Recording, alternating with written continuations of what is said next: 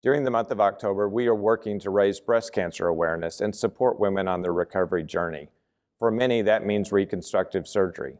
Here to share her story is Wendy Razook and the team she sought to help her. Dr. Sumeet Teotia and Dr. Nicholas Haddock of UT Southwestern's Harold C. Simmons Comprehensive Cancer Center. Thank you for joining us. Wendy, let's begin with you. Can you tell us a little bit about your cancer journey and how you made your decisions about reconstruction? My cancer journey started July 2019 uh, during a routine self breast examination. Uh, I felt a mass in my left breast. Immediately, I was alarmed and thought, what am I going to do? Um, a few days later, I was diagnosed with uh, hormone receptor positive breast cancer. Did my research, found UT Southwestern. They uh, set up all my appointments for me. I met with Dr. Teotia. Uh, he was amazing. I got a phone call from uh, Dr. Teotia's staff telling me that uh, he and Dr. Haddock were going to do the surgery together uh, to minimize the surgical time. I was in the hospital for a couple days, up walking around. That's where we are now. Um, and I'm feeling wonderful. That's great. Dr. Teotia, when you hear a story like Wendy's, uh, tell us a little bit about how you're thinking about options for women as they're making decisions about the type of breast reconstruction to have. I emphasize to all patients, regardless of age, that it's a very personal journey. It's a very patient directed interview. It's more like a shared decision making process. So I uh, throw out some thoughts about what's available. It goes all the way from implants, uh, combinations of tissues, and other pioneering things that we're doing here. So the patients have a full gamut of options. And then it's a long process where we actually discuss uh, uh, what's best for them and if they want to uh, start the process. Dr. Haddock, Wendy mentioned that you and Dr. Teotia worked as a team during her surgery. Tell us what that means and, and sort of how that translates into options for patients.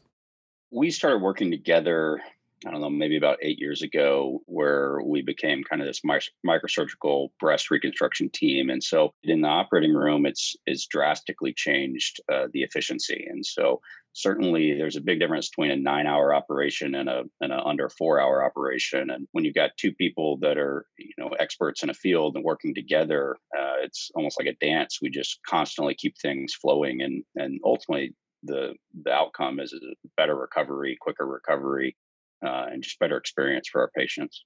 Dr. Teotia, you and Dr. Haddock are experts in these types of operations where you take tissue from another area of the body and use that to build a breast. Tell us a little bit about that operation and why it might be a good option for certain patients.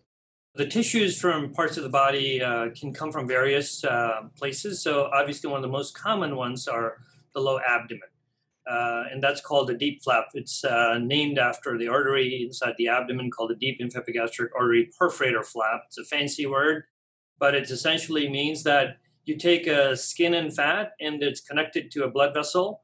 And these are very tiny blood vessels, and one has to use microsurgery to transplant that. So it's a transplant from one part of the body to another. But here we're fortunate enough to offer many other options besides just the DIEP flap and uh, we have pioneered many combinations of flaps. So one can take tissue from the buttock or the low thigh, and even as recently as the low back. And uh, this is one of the centers in the world that can offer such a wide variety of combinations. It's their own tissue, it's warm, it's soft, it will naturally shape into what we think is going to be a pretty breast and something that's permanent. Dr. Haddock, what are some of the new innovations in breast reconstructive surgery?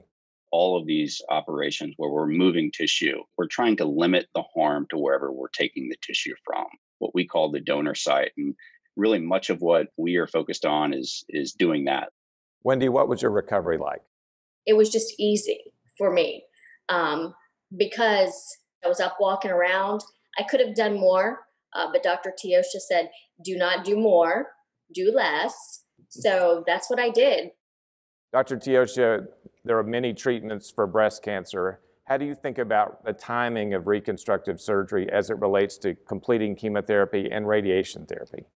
I emphasize to patients that you know cancer always comes first, and we're sort of adjunct as reconstructive surgeons, and then we will sort of end and finish with that process. So the cancer always takes a paramount uh, role into uh, a patient's health. We're constantly uh, working to balance the cancer journey to the reconstructive journey. And it's a complex process and it's an individualized process. Dr. Haddock, tell us how the reconstructive surgery team works with the cancer team. It's really one big team. So it starts with eh, cancer treatment uh, surgically, and then we walk in immediately afterwards and start the reconstruction process. And so that's just the surgical aspect. But you know, if someone needs chemo, or radiation, then it's all integrated together. And and one of the beauties of a, a center like this is that is we are all one big team. I've got all of these doctors on my cell phone, and I can call them and talk about things, and we do that regularly.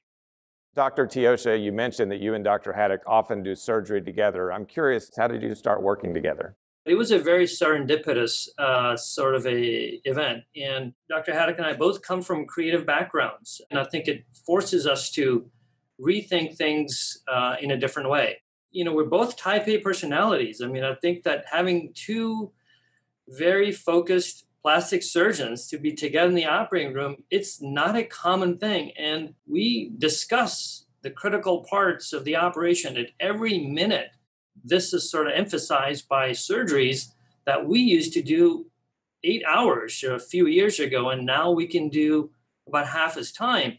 And it's not because our hands have gotten any faster. Matter of fact, we're older.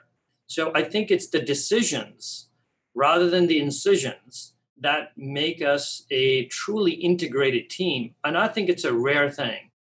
Dr. Teotia, what would you say to a patient who's facing a breast cancer diagnosis and potential surgery and reconstruction during the pandemic. Patients do ask and how it is in the hospital and environment. I said, well, it's very safe in a sense standpoint that probably safer than a grocery store or going to a small family gathering where you may not know the other person or your neighbor. But here we uh, check ourselves. It's the safest place uh, in, in a hospital is actually being in surgery, in a matter of fact.